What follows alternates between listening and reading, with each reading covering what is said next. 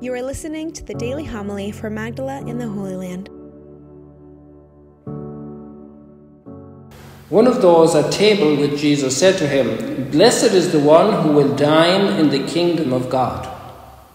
He replied to him, A man gave a great dinner to which he invited many.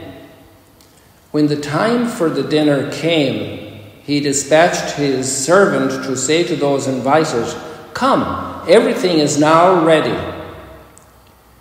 But one by one they all began to excuse themselves. The first said, I have purchased a field and must go to examine it. I ask you, consider me excused. Another said, I have purchased five yoke of oxen and am on my way to evaluate them.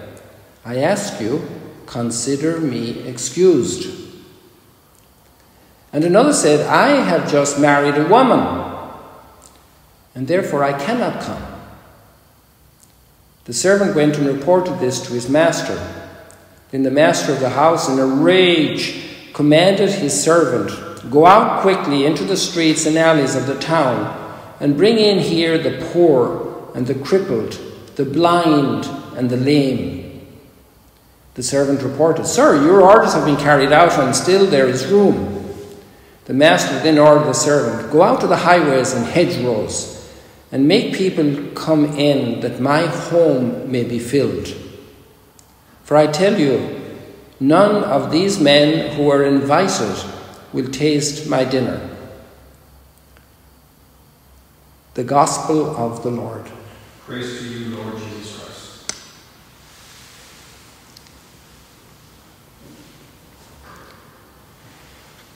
Who would you find in hedgerows? Well, if you went to Ireland more than 200 years ago, let's say 250 years ago, so we're in the late 18th century, in the 1700s, about the time of the independence of the United States, there were penal laws enacted all that century against the Catholics in Ireland. And they weren't allowed to have schools. And even my father, I remember as a child talking about hedge schools. They had their studies, their lessons under bushes to protect them from the bad weather, the wind, the rain, under trees, and they were called hedge schools. So when I hear people that are in the hedgerows, I think of that. Who are people like that? Well, people that are on the periphery of society, in the burned out areas of town. They're not the people you invite to your big event. And that's what Jesus said go and get them. Because the ones that have everything are not interested. They're, not interested. They don't want to come. Imagine when a friend invites you to a wedding. Obviously, if you're sick or an accident happens or you, there's a war, you can't travel, people understand, or COVID, and there were little weddings of eight or ten people. But imagine being invited to a wedding banquet and just not showing any interest. And actually, that's an extraordinary parable for all of the mystery of salvation. The scripture starts with Adam and Eve, finishes with the wedding feast of the Lamb. Just imagine the whole Bible enclosed in the wedding feast. That ideal situation in the paradise, which was much more than just a banquet, it was a perpetual, ongoing, absolute maximum of experience. And then the wedding feast of the Lamb redeemed people in eternal glory forever in the wedding feast of the Lamb. That incredible relationship between God and His church. And imagine turning that down. The significance of turning down God's invitation to this wedding feast. And you say, I would never do that. Ah, yeah, but I don't need to go to Mass. I don't need the Eucharist. I don't need to go to confession. I don't need to get my children baptized. Hey, it becomes very practical.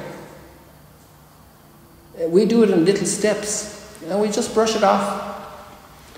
Learn a little bit more about my faith. Passing the faith on to the children, the grandchildren. Oh, I'm busy, I have television to watch, I have this to do. I'm not up to date, I'm not able to field questions about my faith after all these decades living it. If you're decades as an engineer, you're decades as an office assistant, your decades as a salesperson, you can talk about that subject to anybody. But we could be decades in our faith and we're incapable of putting three sentences together.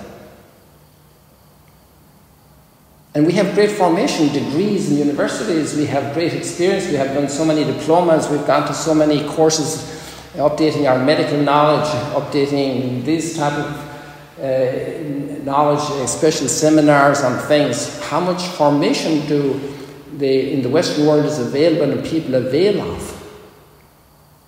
And yet, where's our faith level? I just heard a priest from Germany uh, start a new cycle of catechesis because for 50 years it hasn't been done systematically. Even people in educated society, that they're Catholic, they say, oh yeah, I'm Catholic, but their children don't know how to make the sign of the cross. They don't even know what it means. So, what does it mean to turn down the wedding feast of the Lamb invitation? The banquet God has for us. Yesterday we had the concept at the Mass of throwing banquets for others, of being good and gracious. Well, the biggest banquet that's thrown is God Himself. He's the one throwing the banquet. The whole of the universe is the scene for the banquet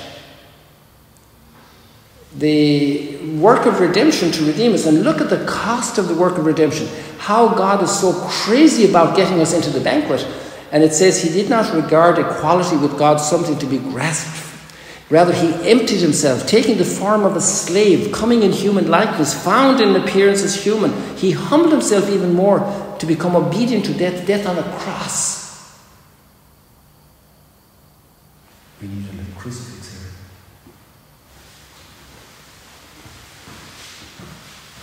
Just imagine the extent of God's love and determination for us to enter the banquet. This is amazing. This is the first reading. It fits so well together. I will praise you, Lord, in the assembly of your people. What could be more fitting for us to do? what could be more spontaneous and natural for us to be receiving such a banquet? Let's say you go to the maximum banquet you could imagine, the most beautiful wedding you could imagine, the most amazing service you could imagine, the most extraordinary event, and you wouldn't sing praises?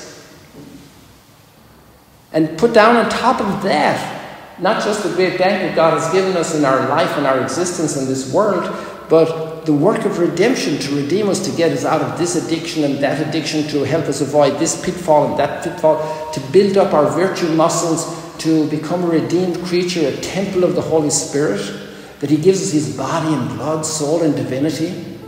Oh, I don't need to go to Mass on Sunday. Thank you for joining us today.